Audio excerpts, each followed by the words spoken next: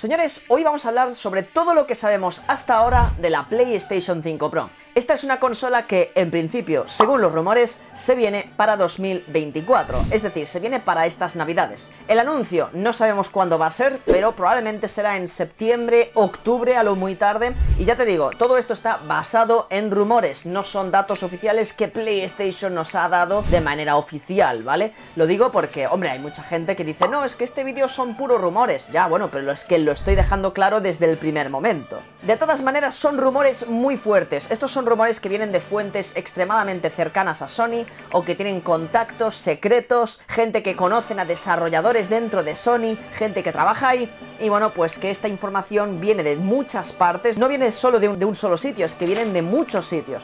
Entonces ya creo que podemos dar por hecho que la PlayStation 5 Pro es una realidad. Aunque antes de hablar de esto, hay que hablar sobre el patrocinador del canal GVGMOL. Porque con GVGMOL podéis conseguir claves de Windows a unos precios bastante económicos. ¿Por qué estas claves son baratas? Bueno, pues más que nada porque son claves OEMs, ligan a tu placa base. Así que bueno, si no tienes planeado cambiar las piezas de tu ordenador en mucho tiempo, pues que sepáis que esto es una muy buena opción. Tenéis los enlaces en la descripción ahí abajo y usad el código de descuento AW25 para ahorrar algo de dinerito. Y ya os digo, es fácil de activar, es fácil de hacer y pues maravilloso todo. Vale, pues vamos a hablar sobre las características de la PlayStation 5 Pro y luego os daré mi opinión de todo esto. Primero de todo, parece ser que la PlayStation 5 Pro va a tener mayor ancho de banda con respecto a la PlayStation 5 normal. Vamos, que la transmisión de información entre un, entre un componente y otro va a ser más rápido, por así decirlo. O sea, que bueno, va a ser un poquito más rápido en ciertas cosas. La CPU, ¿vale? Lo que es el corazón de la consola va a ser idéntica a la de la PlayStation 5. Es decir, la CPU de la PlayStation 5 Pro va a ser igual. Lo único que va a correr con mayores frecuencias. La CPU va a poder correr a 3,85 GHz, ¿vale? Esto es un incremento de un 10% con respecto a la CPU de la PlayStation 5 normal. Vamos, que es un incremento minúsculo, sinceramente. Y esto genera bastantes preocupaciones, que luego hablaremos. Donde realmente viene la mejora fuerte de la PlayStation 5 Pro es en la GPU, ¿vale? No es lo mismo CPU que GPU.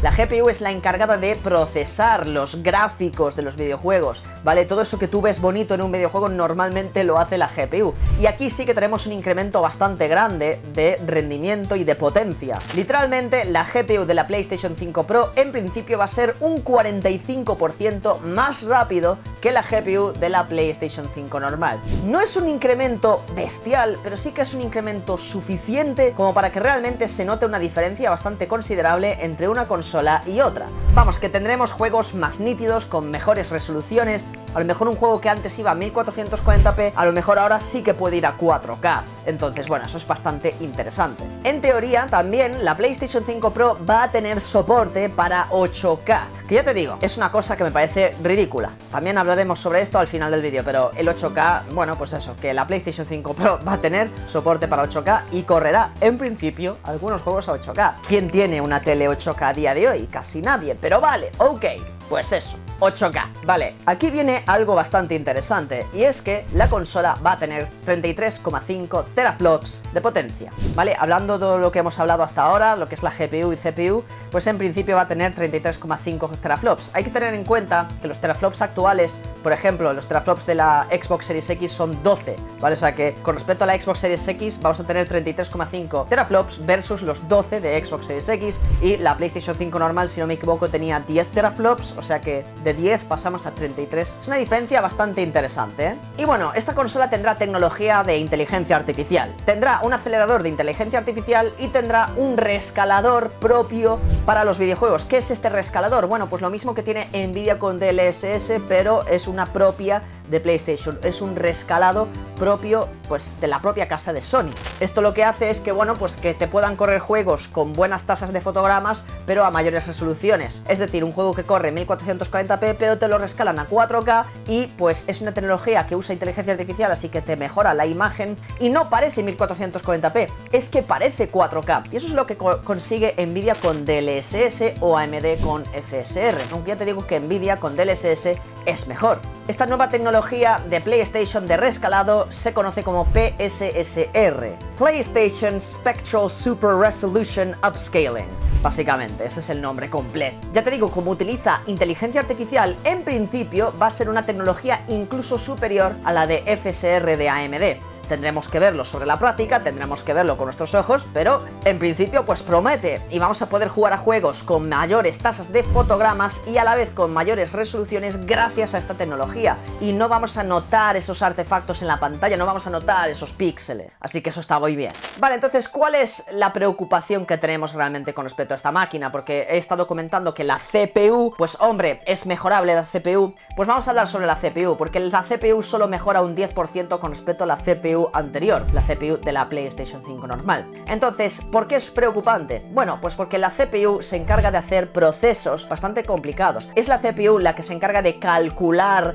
las cosas. Por ejemplo, en un videojuego estilo GTA 6, todos los NPCs que ves en GTA 6 que están andando por la playa, a nivel de gráficos los procesa la GPU, pero a nivel de lógica, a nivel de procesamiento como tal de la inteligencia artificial de cada NPC y del pathfinding y todas esas cosas, eso lo hace la CPU. Y si la CPU no es mucho mejor que la de la PlayStation 5 normal, eso quiere decir que si por ejemplo GTA 5 solo puede correr a 30 FPS en la PlayStation 5 normal, eso quiere decir que a lo mejor GTA 5 en la PlayStation 5 Pro tampoco correrá a 60 FPS y a lo mejor irá a 30. Esa es la explicación de por qué muchos estamos preocupados y gente como Digital Foundry que saben lo que dicen piensan que a lo mejor GTA 6 estará capado a 30 FPS incluso en una PlayStation 5 Pro si estas especificaciones son reales, si todo lo que dicen estas filtraciones son reales. Yo creo que donde realmente va a estar la mejora con esta PlayStation 5 Pro va a ser en el trazado de rayos, va a ser en lo que es procesar efectos de reflejos a tiempo real, iluminación global, cositas así, cosas que tengan que ver con el trazado de rayos, porque si tienes una mejor GPU vas a poder tener mejor rendimiento utilizando trazado de rayos. Sabéis que muchas veces se activa trazado de rayos en la PlayStation 5 o en la Xbox Series X y para activar el trazado de rayos a veces tienes que sacrificar dos cosas, o fotogramas por segundo, jugar al juego a 30 FPS, bajar la resolución a una resolución baja, más o menos a 1080p, para jugarlo a 60 FPS. Entonces el trazado de rayos es un sacrificio muy grande. En cambio ahora con la PlayStation 5 Pro, en principio, al tener más potencia de la GPU, en principio lo que es el trazado de rayos, esa tecnología, no va a ser tan demandante y no vas a tener que sacrificar tantas cosas como resolución o fotogramas por segundo. Así que bueno, habrá que verlo, ¿no? Con el tiempo veremos. ¿Cuándo saldrá esta consola? En principio saldrá a finales de 2024, es decir, estas navidades, y se anunciará en septiembre. Hay que recordar que la propia PlayStation 4 Pro se anunció el mismo año que ha salido, de hecho se anunció meses antes del lanzamiento de la consola. Entonces no me parece descabellado que hagan lo mismo con la PlayStation 5 Pro, que te lo anuncien a lo mejor en septiembre, octubre de este año y te lo lanzan pues en noviembre, diciembre de este mismo año, seguramente noviembre. Así que a ver qué pasa, el tiempo dirá. Pero también dirá que le deis like y que os suscribáis a este canal y que le deis a la campanita, que es gratis y así me apoyáis. Pues eso, nos vemos en el siguiente vídeo. La vida es hermosa. Chaito chicos, chaito, chaito.